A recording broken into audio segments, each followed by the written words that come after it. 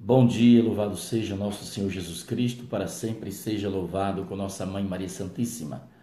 Um abençoado dia para você e para sua família, que Deus nos abençoe e nos proteja. Um abraço para Genivaldo, meu irmão, que está aniversariando hoje, que Deus o abençoe e abençoe também a todos os aniversariantes deste dia. Que Nossa Senhora continue abençoando a sua vida e a sua caminhada de fé um abraço, Gênio. Mais tarde a gente se encontra. Estamos encerrando hoje, é, na verdade encerramos ontem, mas daqui a pouco estou voltando para a Bahia, da missão de Minas Gerais e do Distrito Federal. E ontem foi o nosso último encontro de 2017 aqui e, portanto, quero também fazer um agradecimento especial a todo o grupo do Exército de Nossa Senhora de Anguera que nos acompanhou durante este ano de 2017, organizando encontros de oração por vários estados do Brasil. Que Nossa Senhora recompense e abençoe a cada um por tudo aquilo que fizeram em favor dos planos de Nossa Senhora. Continuaremos unidos na oração, seguindo os passos de Maria para encontrar facilmente Jesus. O evangelho de hoje vai nos falar Lucas, vai narrar as palavras de Jesus no capítulo 21, versículo de 12 a 19. E Jesus vai falar do sofrimento das cruzes, né? Que irão carregar aqueles que defendem a sua palavra, aqueles que querem o bem da sua igreja. Estamos vivendo um tempo difícil é, dentro da nossa igreja católica também. O católico que achar que está tudo bem na igreja católica, ele não é católico, ele não conhece nada de catolicismo.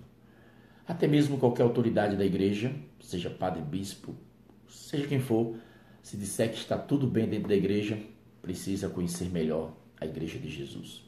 As coisas não andam bem. Vemos claramente divisões, perseguições. Eu, que ando rodando por aí afora, tenho visto coisas que não me agradam né? e me deixa triste, na verdade. Semana passada na Itália, num último encontro, fui procurado por uma senhora que disse que ela é catequista e houve um encontro de catequistas e fora dito que os catequistas evitassem de falar de pecado para as crianças. De como é que é esse negócio? Sim, ela confirmou. Mas ela estava furiosa, né? chateadíssima e com justa razão. E ela me perguntava: ah, qual conselho que o senhor me dá? E o conselho que eu lhe dou é continuar defendendo Jesus e a igreja. E aquele que diz para a senhora isso, não escuta. É lobo disfarçado de cordeiro. Não pertence a Jesus, está apenas fingindo, ocupando um lugar na igreja que não deveria ocupar. Né? Então, continue ensinando o catecismo para as crianças, falando de pecado, falando contra a ideologia de gênero. Eu li também uma matéria essa semana que uma, uma raiz protestante né, ligada a, aos luteranos, não sei se, não lembro exatamente o país, mas em algum país da Europa, eles fizeram uma reformulação nos seus códigos, nos seus documentos, e agora eles querem também chamar Deus de mãe. Deus também agora tem que ser chamado de mãe, né? não só de pai, mas de mãe.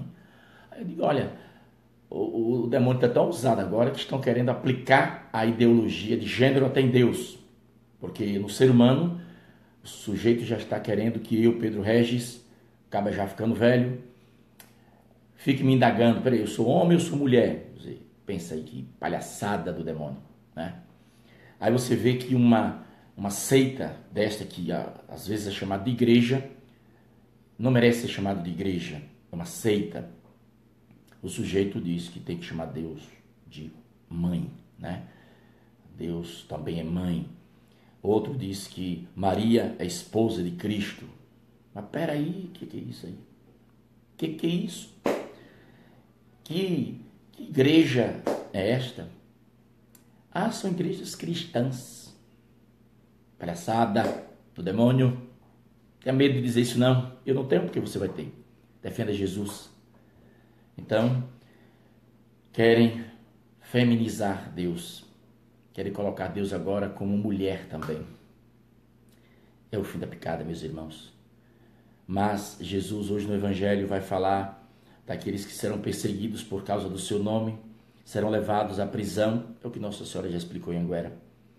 Sereis perseguidos, entregues nas sinagogas, postos na prisão, sereis levados diante de reis, reis, reis, governadores por causa do meu nome. Mas esta será a ocasião em que deveis testemunhar vossa fé, fazer o firme propósito de não planejar com antecedência a própria defesa, porque eu vos darei palavras tão acertadas que nenhum dos inimigos vos poderá resistir ou rebater. Sereis entregue mesmo pelos próprios pais, irmãos, parentes e amigos, e estes mataram muito de vós. Todos vos odiarão por causa do meu nome, mas vós não perdereis um só fio de cabelo da vossa cabeça. É permanecendo firmes que vereis que ireis ganhar a vida eterna. Então, é permanecendo firme, defendendo Jesus, a doutrina. Porque o, que é que, o que é que se fala hoje? Não, é, nós precisamos é, dialogar, precisamos respeitar o outro, etc, etc. Bom, eu não posso abrir a cabeça de ninguém para semear a verdade, eu posso falar. Agora, eu só não posso negociar a minha fé. Eu não posso negociar a minha fé para que as pessoas é, se agradem com aquilo que eu estou falando, entende?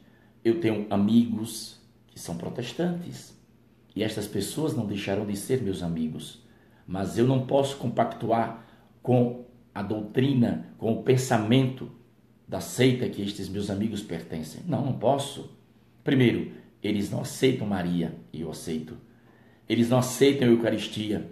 Não posso negociar com ninguém sobre a Eucaristia. Nossa Senhora mesma disse que a verdade acerca da Eucaristia é inegociável.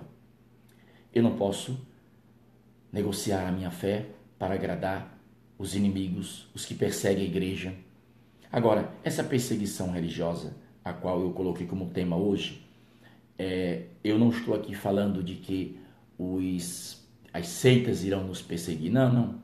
Hoje, para dizer bem a verdade, ser bem sincero com vocês, os católicos não são perseguidos. Eu, por exemplo, tenho 30 anos na missão, eu nunca fui perseguido por nenhuma dessas seitas protestantes. Nunca. Né? Nunca fui perseguido.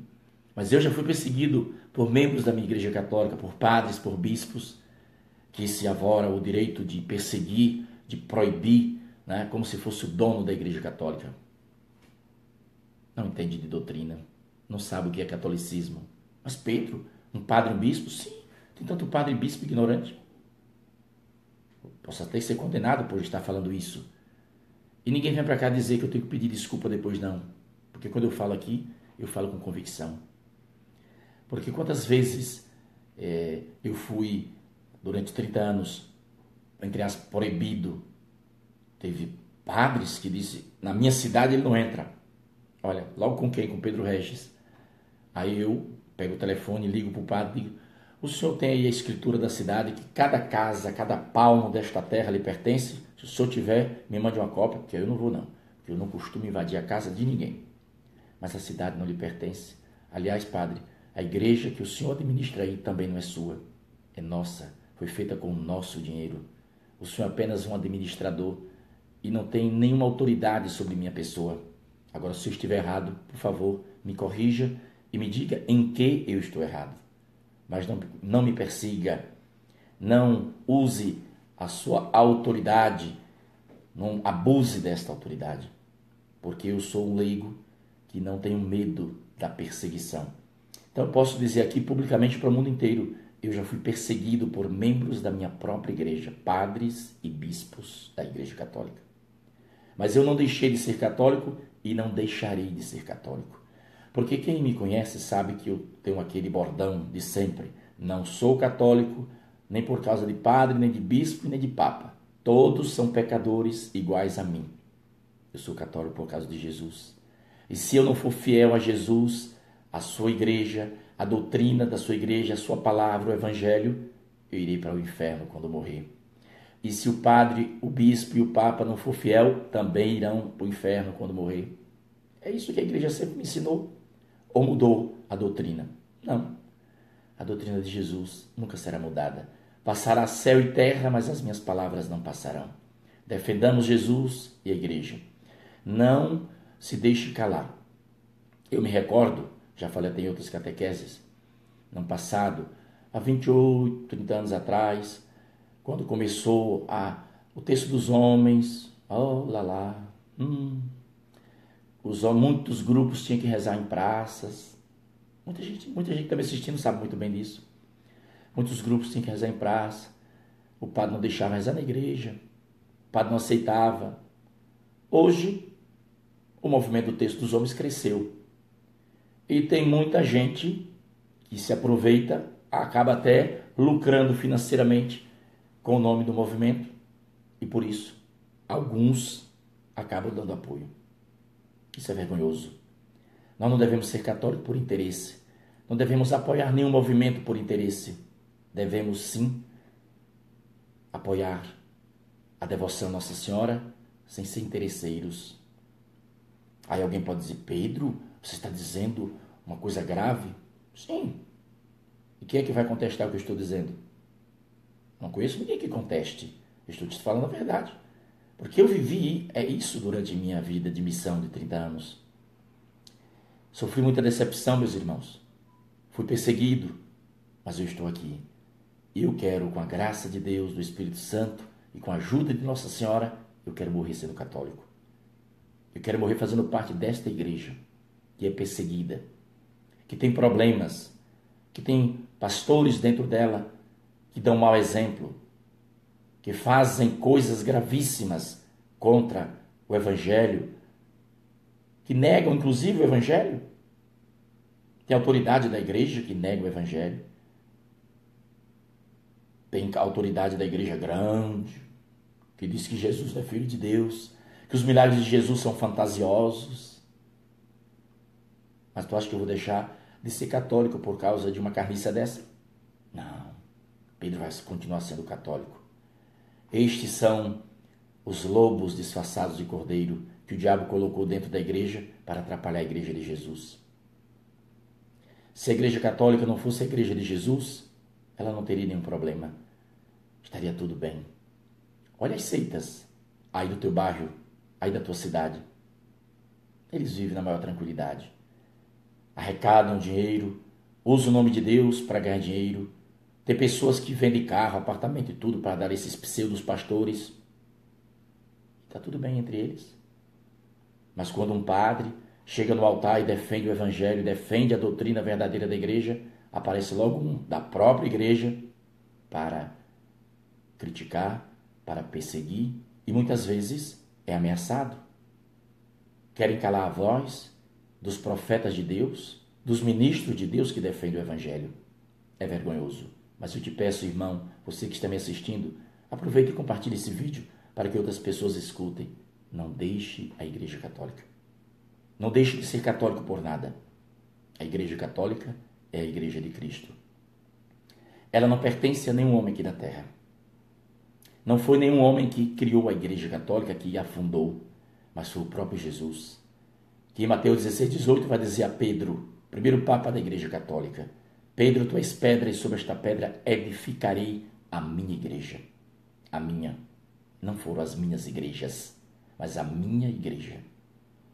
E se você ama Jesus, vai compreender que aquela cruz que ele carregou diante do julgamento, do tribunal que o julgou até o Calvário, Jesus carregou pela sua igreja. Jesus não morreu pelas seitas que tem aí no teu bairro e na tua cidade. Jesus morreu pela igreja católica. Que Deus tenha misericórdia de todos nós, homens e mulheres, e que possamos defender Jesus e seu Evangelho. Leia o Evangelho de hoje, por favor. Vou repetir aqui para você gravar. Lucas capítulo 12, perdão, Lucas capítulo 21, versículo de 12 a 19. Leia. Jesus está falando da perseguição que o seu povo vai sofrer. E eu aqui estou te dizendo que os católicos de hoje sofrem perseguição dentro da própria igreja por causa de maus pastores que querem fazer da Igreja Católica aquilo que agrada aos inimigos, aquilo que querem fazer como se fosse donos da Igreja Católica. E aí, eu posso fazer um convite para esses nossos irmãos, pastores da nossa própria Igreja Católica, que fazem isso contra os católicos, saiam pela porta do fundo. Saiam pela porta do fundo. Não nos envergonhem. Não nos cause vergonha, porque é vergonhoso ver uma autoridade da igreja negando o Evangelho, negando Jesus como Filho de Deus, negando a existência do demônio, do céu, do purgatório, do inferno, do céu. Sim. Mas nós não iremos desistir de defender Jesus e amar o Senhor. Que Nossa Senhora abençoe sua vida. Não se esqueça, próximo domingo, primeiro domingo do Advento, estamos caminhando para essa preparação para o Natal. Dia 2, próximo sábado, encontro, sexto encontro nacional do Exército de Nossa Senhora de Anguera, no local das aparições de Nossa Senhora, na Bahia. Conto com as suas orações, o encontro será aberto. Quem quiser participar está convidado. Desejo que o seu dia seja abençoado. Reze por nós, por nossa viagem de volta para casa. Missão cumprida. Que Deus nos abençoe e nos recompense, nos abençoando e nos dando saúde e paz para que possamos trabalhar em prol do seu reino de justiça, paz e verdade. Paz e bem a todos.